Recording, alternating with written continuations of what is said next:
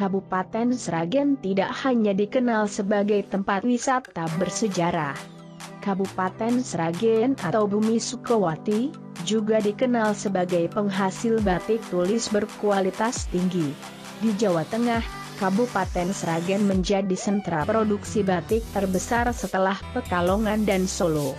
Sentra batik Sragen terdapat di Kecamatan Lupuh, dan tersebar di Desa Kliwonan, Ilang, Pungsari, dan Sidodadi.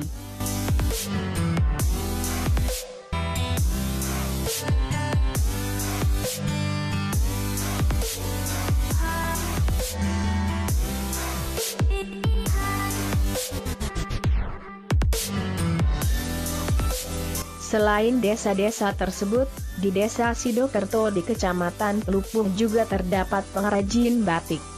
Salah satunya adalah sentra batik di kelompok usaha batik, HUB, yang bertempat di rumah Ibu Siti Aminah yang terletak di Dukuh Natah RT 2,2 Desa Sidokerto, Lupuh.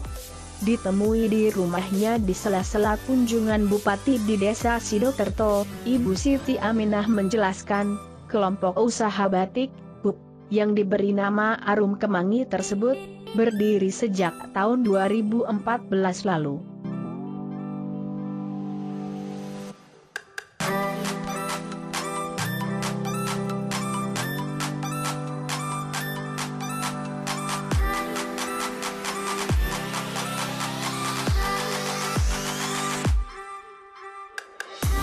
Kuparum Kemangi beranggotakan 16 orang yang berasal dari desa Sidokerto. Batik yang dihasilkan adalah batik tulis yang merupakan salah satu teknik membatik dilakukan secara manual. Produksi batik tulis dari Kuparum Kemangi menghasilkan motif batik pakem, dan parang. Dalam proses pengerjaannya hingga finishing, dalam satu lembar kain batik bisa selesai sampai 4 bulan.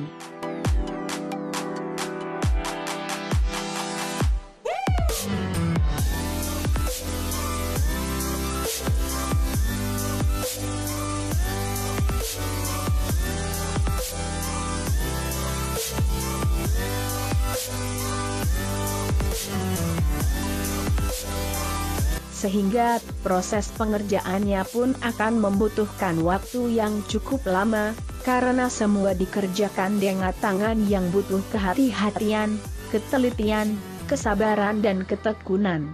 Batik yang dihasilkan tersebut, dipasarkan ke wilayah Solo, bahkan sudah pernah dipasarkan di Tamrin Jakarta.